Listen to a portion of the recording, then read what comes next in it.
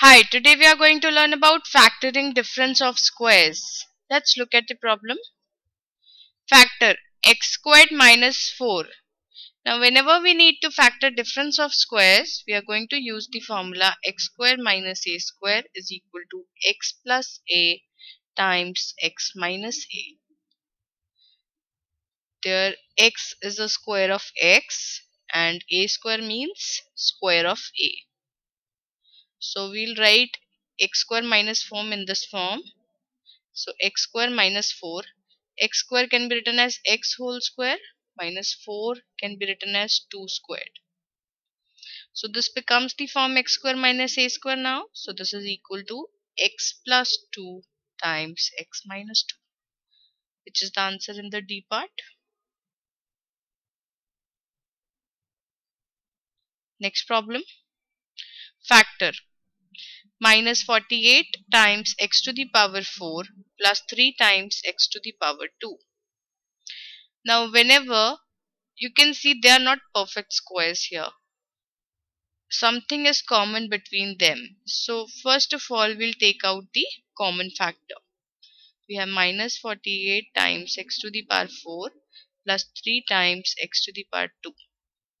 I can take common negative sign 48 and 3 the GCD is 3 and between x4 and x2 I'm sorry x to the power 4 and x to the power 2 I can take out common x to the power 2 so in the parentheses we are left with negative negative positive 48 divided by 3 is 16 and x to the power 4 divided by x to the power 2 is x squared now positive negative negative.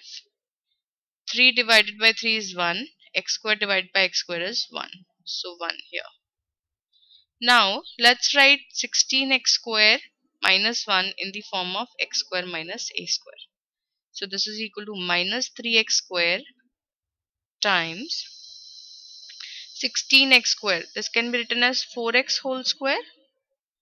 Minus 1 can be written as 1 squared so this is minus 3x square times 4x plus 1 times 4x minus 1 or I can also write it like minus 3x squared times 4x minus 1 times 4x plus 1 which is the answer in the D part?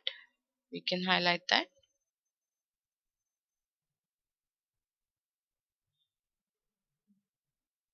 Next problem factor h square minus u4 u to the power 4